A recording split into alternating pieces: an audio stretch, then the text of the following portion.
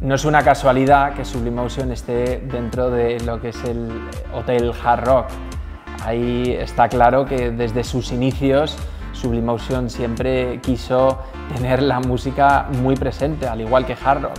Entonces al final pues es eh, un concepto en el que la música es tan importante que vamos añadiendo, vamos quitando, pero al final eh, lo que cuenta es la emoción que el comensal se lleve al final de la velada y que la gente diga, bueno, qué buena estaba la comida, que eso es indudable, porque Paco es que es un genio, pero también qué experiencia tan, tan, tan bonita, qué bien me lo he pasado, que he bailado, me he reído, he podido pasar miedo, eh, me han manejado las emociones que no sabía yo que pasaba, ¿no? hasta con la comida.